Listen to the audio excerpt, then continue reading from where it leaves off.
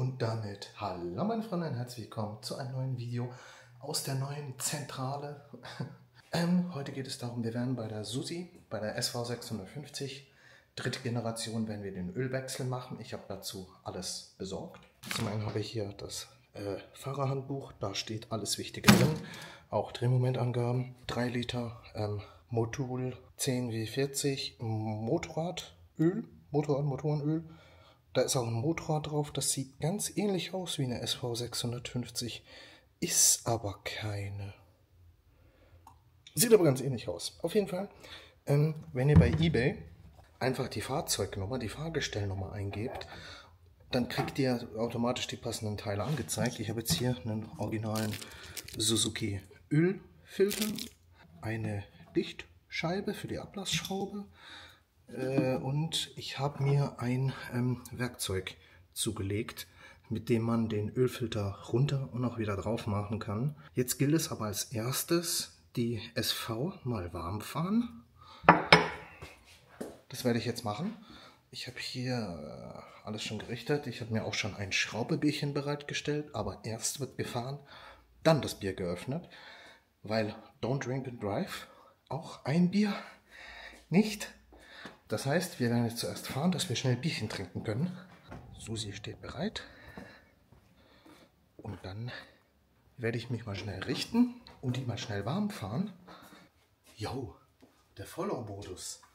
Das ist der beste Modus von dieser Kamera. Einfach ein eigenes Kam Kamerateam. Gut, meine Haare sehen super aus, verschwitzt. Oh, hey. Helm aufziehen. Ich fahre jetzt einfach schnell in Jeans Rosso Nodi nur schnell fünfmal um den Block, dass die warm ist.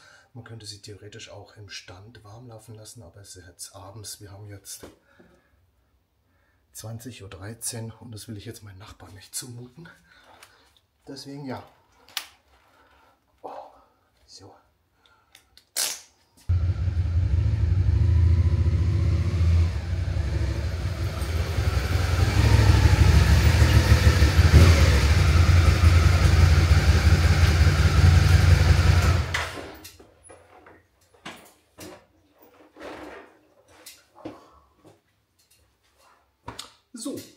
da bin ich wieder.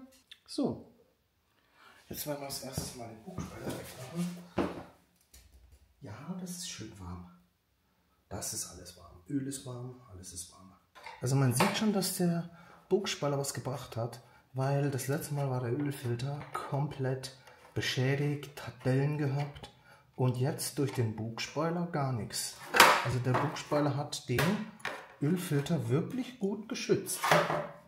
So, also laut der Anleitung befindet sich die Ölablassschraube hier. Hier ist die Lambda-Sonde und direkt links nebendran, senkrecht nach unten, ist die Ölablassschraube und neben der Ölablassschraube ist vom Motorblock noch so ein kleiner Nupsi. Damit kann man das ganz gut identifizieren. Also nicht diese Schraube oder diese, sondern diese.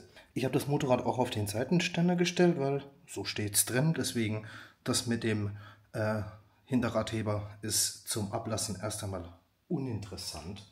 So, die Dichtung der äh, Einführschraube kann man jetzt auch mal kontrollieren. Hier sitzt so eine kleine Dichtung.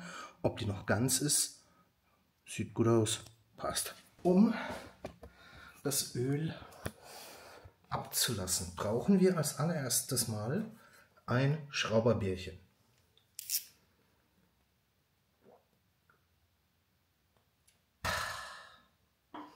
Dann brauchen wir eine Ratsche mit einer 14er Nuss. Und jetzt müssen wir eigentlich nur noch irgendwas drunter stellen. Nein, ich habe leider nicht so einen tollen äh, Ölablasskanister. Ich muss mir sowas zulegen. Habe ich jetzt nicht, deswegen nehme ich jetzt einfach eine Auflaufform, die ich sowieso nicht benutze. Nie benutze, weil ich koche eigentlich nicht selber. Und jetzt habe ich wenigstens eine Ausrede. Also hier ist die Lambda-Sonde. Aua. So, mal kurz zeigen. Hier ist jetzt die Ölablassschraube. Wir haben einmal hier die Lambda-Sonde und links nebendran ist die Ablassschraube. Und die kommt jetzt raus. Besorgt euch einen äh, starken Magneten, mit dem ihr später mal im Öl ein bisschen durchs Öl fahren könnt, um zu gucken, ob da Metallspäne dran sind. Dann wisst ihr, ob ihr viel Metallreste und so im Öl habt. Das ist ganz nett. Sehe ich fast die falsche Ordnung. Für was sind eigentlich die anderen Schrauben? Sind das so optionale Ablassschrauben, wenn man die eine nicht mehr aufkriegt? Macht man halt irgendeine andere auf. Oh. So. Wie mache ich das? Handschuhe. Alle 6000 Kilometer Ölwechsel und alle 12.000 Kilometer macht ihr sowieso einen Service. Das heißt, ihr macht jeden zweiten Ölwechsel selbst. Im Idealfall. Und wichtig ist aber, also zu wissen, dass es auch so drin steht, dass man normalerweise nur jeden zweiten Ölwechsel den Ölfilter tauschen muss. Ich tausche ihn jetzt aber trotzdem, weil es kostet, der kostet echt nicht viel. Und ja, dann ist es doof, hier wegen, keine Ahnung, 30 Euro zu sparen. Wird er gleich mitgewechselt. Ja, komm, ja, ja, ja. Gut, gut, gut, gut. Ja, das ist noch gut warm. Das ist noch gut warm. Äh. Da ist ein bisschen viel Öl drin. Leute, hier ist etwas viel Öl drin.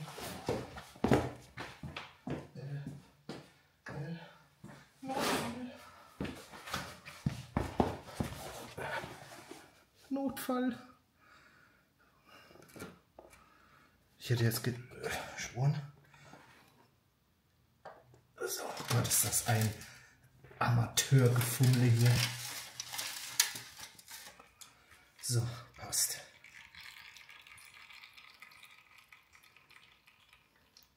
Jetzt haben wir zum einen hier an der Ablassschraube so einen kleinen Magneten hier vorne dran.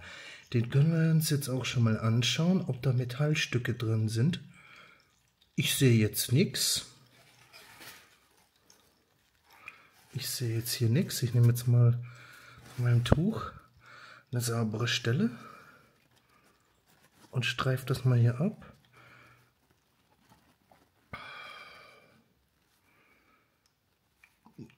Nee, also wenn, dann sind das ganz winzig kleine Mikrospähnchen, mikroskopische kleine Spänchen, die man jetzt gar nicht fühlen kann, aber die so ein bisschen die Färbung hier verändern. Ne? Würde ich sagen, aber jetzt äh, irgendwelche Metallspäne sehe ich hier nicht. Nö, sehe ich nicht. Reagiert der Magnet? Nee, okay, das ist auch heftig.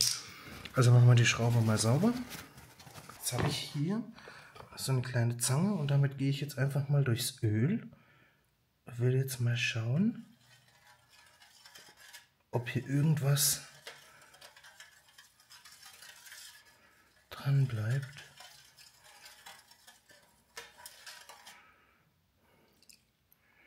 Hm.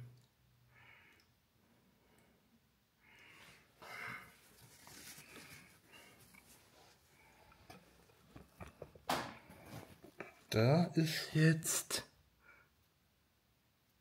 Ist das was Metallisches? Nee. Uh -uh. Dachte ich, das ist Metall, aber das war weich. Vielleicht ein bisschen Ölschlamm. Nee, das war jetzt kein Metall. Mhm. Sieht gut aus. Der Magnet ist sehr stark, also der, wenn hier irgendwas Metallisches drin ist, ja gut, wenn, wenn, wenn, ich weiß jetzt nicht, wenn die Kolben aus Aluminium sind, zum Beispiel, dann bleibt das hier eh nicht dran hängen. Also.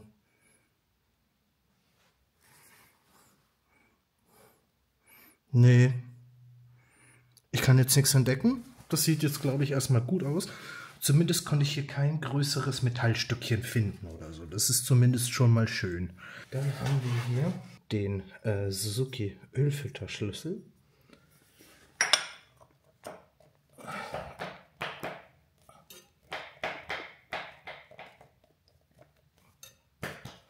Der passt hier drauf und dann wird er runtergedreht.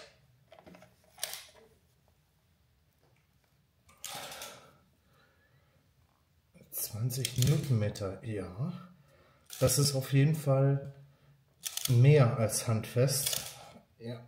Und es hat Suzuki selbst gemacht. Ich bringe die äh, Susi ja jedes äh, Mal zum Service direkt zum Suzuki-Händler. Und ja, das kommt hin mit 20 Newton. Jetzt machen wir den Ölfilter raus. Schön über den Krümmer. Perfekt.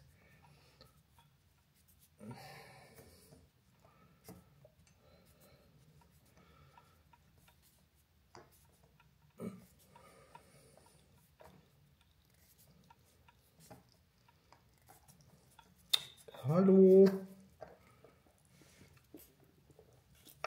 Hä? Ah, okay. Gut.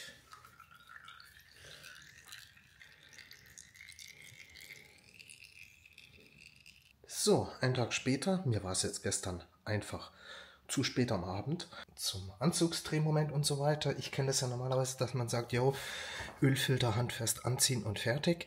Ähm, so machen es auch die meisten auf YouTube. Allerdings steht hier im Fahrerhandbuch vom Motorrad ganz klar drin, Anzugsdrehmoment vom Ölfilter 20 Newtonmeter. Kommt mir persönlich ein bisschen viel vor, aber wenn Suzuki das hier so reinschreibt, ne, die Ölablassschraube 21 Newtonmeter, der Ölfilter 20 Newtonmeter. Des Weiteren schreiben die, wenn man jetzt keinen Drehmomentschlüssel hat, soll man den Ölfilter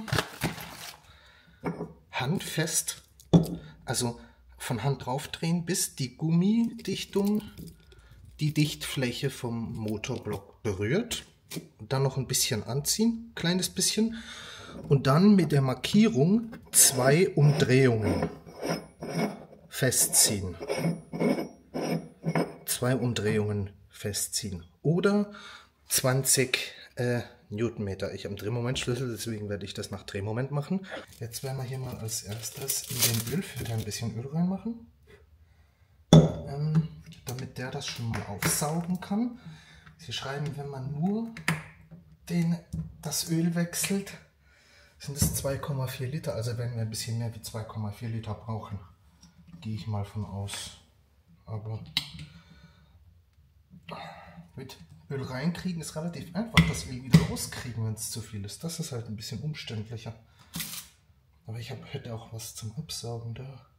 Jetzt füllen wir das erstmal auf. Den Filter. Ein bisschen viel. Und das zieht jetzt erstmal ins Filtermaterial rein. Dann werden wir jetzt mal die alte Dichtung, Dichtscheibe, habe ich jetzt schon mal runtergedreht. Das ist einfach wie so ein Gewinde. Ich drehe das einfach als Gewinde quasi runter. Und also jetzt nicht mit dem Schraubenzieher hier rumstochen. Und die alte Dichtung, die geht. Klar, die ist ja dann platt gedrückt, deswegen die neue Dichtung geht hier wunderbar drauf. Jetzt habe ich hier auch ein bisschen Küchenrolle. Da haben wir mal die Dichtfläche hier mal ein bisschen sauber machen.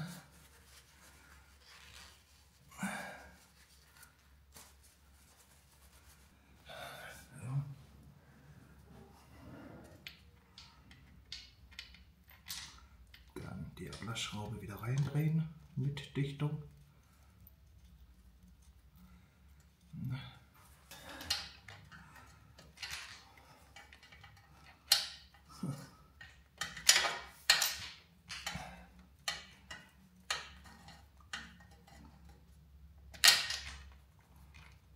Das ist ein bisschen groß.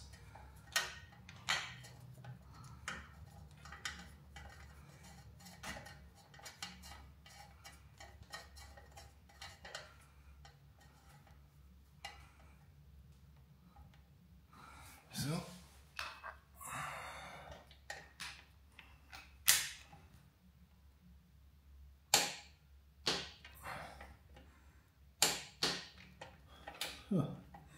Das war's schon. Lichtfläche sauber machen. Die ist auch nicht beschädigt, das ist toll. Keine Risse oder so.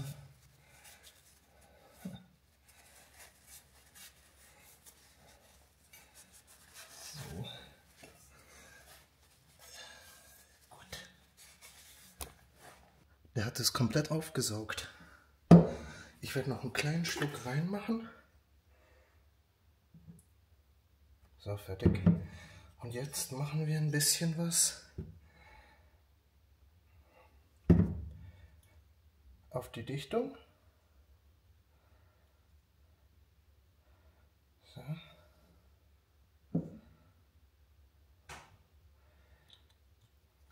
Ruhig ein bisschen mehr.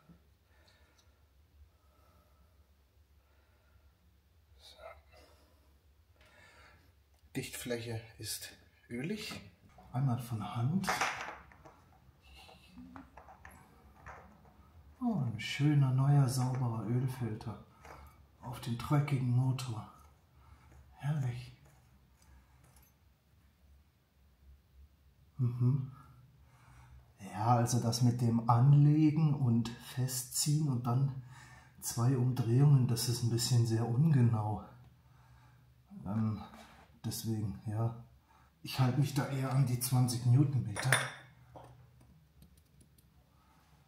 Jetzt muss man nur von 21 auf 20 runterstellen und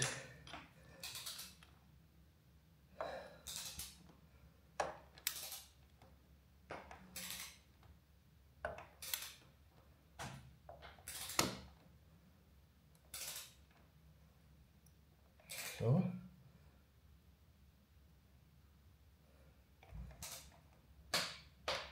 Okay. Winzig. So, Ölfilter setzt mit ein bisschen Gefummel und Gewackel. Habe ich auch den Ölfilterschlüssel wieder runtergekriegt. Hat gepasst. Ähm, ja gut, die 20 Newtonmeter haben sich jetzt nicht ungesund angefühlt. Also das kann tatsächlich äh, in Ordnung sein.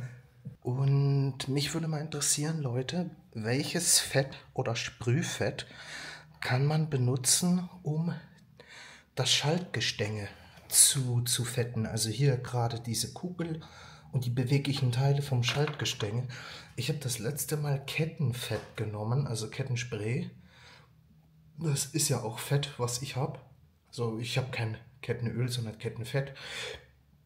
Das habe ich das letzte Mal genommen. Oder gibt es da irgendwas Besseres? Ähm, ich weiß es nicht. Auf jeden Fall. Jetzt geht es ans Befüllen. Und Dafür werde ich sie jetzt einfach auf den Hinterradheber stellen, dass sie exakt gerade steht. Öl nachfüllen, es klingt gerade. Ich habe jetzt mal den ersten Kanister schon mal rein. Das heißt, wir haben jetzt exakt ein Liter drin. Inklusive dem Öl, was jetzt im Ölfilter ist, haben wir jetzt ein Liter. Ja, da kommt nichts mehr raus. Das ist schon mal gut. Jetzt kommt der zweite Liter. Den kann man auch einfach blind einfüllen. Da redet man von Plastikverschwendung, ne? Und dann macht man solche Verpackungen. Okay, der zweite Liter. Schluck, Schluck.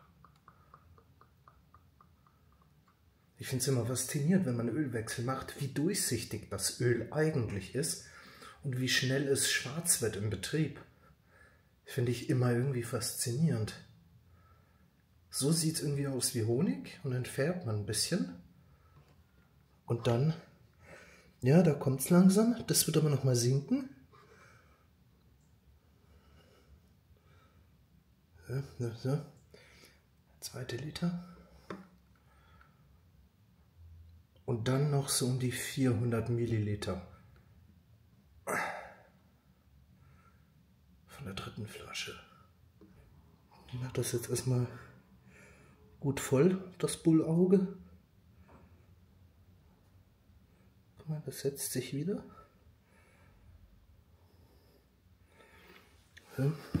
Und das setzt sich wieder. Jetzt setzt sich nicht mehr so wirklich, ne? Okay.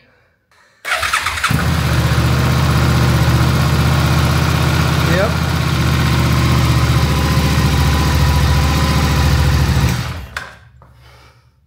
Es ist schon gesunken.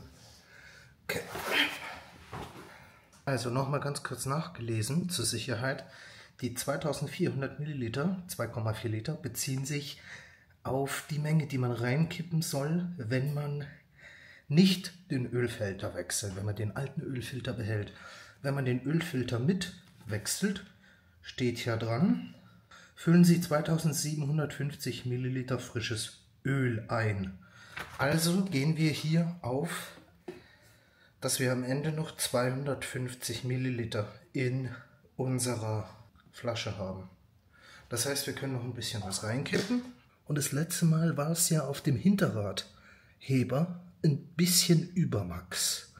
Ungefähr 2 mm über Max.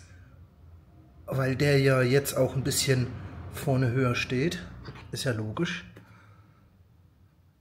Äh, hinten ein bisschen höher steht. So. Das müsste jetzt passen. So, kleine Inspektion. Ähm, ja, die lief jetzt so drei, vier Minuten warm und stand dann noch einige Minuten wieder zum Abkühlen. Und also Ölstand ist jetzt perfekt auf Maximum. Hier oben ist dicht, da ist nichts rausgekommen. Auch hier auf dem Boden kein Öl. Ölfilter sieht ebenfalls dicht aus. Hat jetzt alles ein bisschen gedampft, weil der Krümmer, da waren noch Ölreste am Krümmer. Ich hätte den Krümmer mit Bremsenreiniger ein bisschen sauber machen sollen. Werde ich jetzt nachher noch nachholen, wenn alles kalt ist. Den Bereich hier nochmal mit Bremsenreiniger, dass es nicht unnötig dampft beim Fahren. Sieht aber gut aus. Auch die Ölablassschraube ist dicht. Hier ist kein Öl. Und da ist auch dicht. Sieht also gut aus. Hm, ja, morgen eine kleine Probefahrt machen. Ölstand kontrollieren. Ich werde vielleicht morgen zur Probefahrt einfach ein bisschen Öl mitnehmen. Ähm, aber das sieht gut aus. Und ja, damit war es das mit dem Video Ölwechsel bei der SV650. Ähm, ich hoffe, das Video hat euch gefallen. Wenn ja, lasst ein Like und ein Abo da. Würde mich echt freuen. Macht ihr euren Ölwechsel auch selber? Oder lasst ihr das generell immer machen? Also ich werde das so machen. Ich werde, ich bringe die ja alle 12.000 Kilometer zum Service. Da soll natürlich die Werkstatt den Ölwechsel machen. Und zwischendrin mache ich den Ölwechsel, dass wir auch diesen Intervall von 6.000 Kilometern immer einhalten. Das war's mit dem Video. Haut rein. Ciao. Mitfahren.